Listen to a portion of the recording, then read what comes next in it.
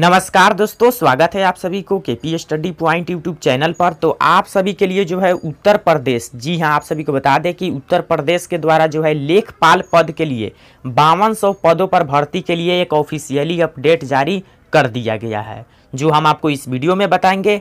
और आपको यह भी बताएँगे कि इसमें कितना एज रखा गया है एज क्वालिफिके एजुकेशनल क्वालिफिकेशन क्या रहेगा और यह वैकेंसी कब से ऑनलाइन अप्लाई शुरू होगा। तो आप सभी को बता दें कि यहाँ पे बताया गया है जो ब्रेकिंग न्यूज़ के तहत है, आप सभी को बता दें कि उत्तर प्रदेश में जो लेखपाल की यह भर्ती है, यह हिंदुस्तान न्यूज़ पेपर में दिया गया है। तो चलिए आपको बता देते हैं, लेकिन आप सभी को बता दें कि अगर आपका एज जो है मैक्सिमम चालीस वर्ष है तो आप इस फॉर्म को अप्लाई कर सकते हैं और मिनिमम अठारह वर्ष। तो वीडियो शुरू करने से पहले आपने अभी तक चैनल को सब्सक्राइब नहीं किया है तो चैनल को सब्सक्राइब कर लीजिए और बेल आइकन को दबा दीजिए, क्योंकि इस चैनल पे आपको गवर्नमेंट जॉब से रिलेटेड सभी जानकारी दी जाती है। तो आप यहाँ पे देख सकते हैं जो UP triple S C lockdown खत्म होते ही लेखपाल के बावन सौ पदों पर भर्ती होगी। जी हाँ आप सभी को बता दें कि उत्तर प्रदेश के अंतर्गत यह वैकेंसी निकल कर आया है और 18 अप्रैल 2020 को यह अपडेट जारी किया गया है। आप सभी को बता दें कि यह हिंदुस्तान न्यूज़पेपर में दिया गया है। आप यहाँ पे देख सकते हैं हिंदुस्तान में।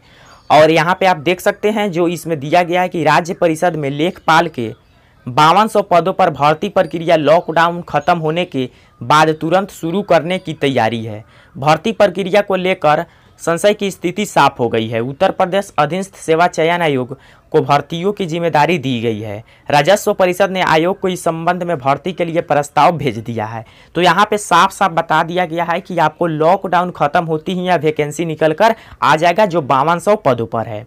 एक साल से लटकी थी भर्ती। राजस्व परिषद में लेखपाल के कुल कुल तीस हज़ार आठ सौ सैंतीस पद है। इसमें से चौबीस हज़ार पद जो है भरे हुए हैं और शेष पद खाली है।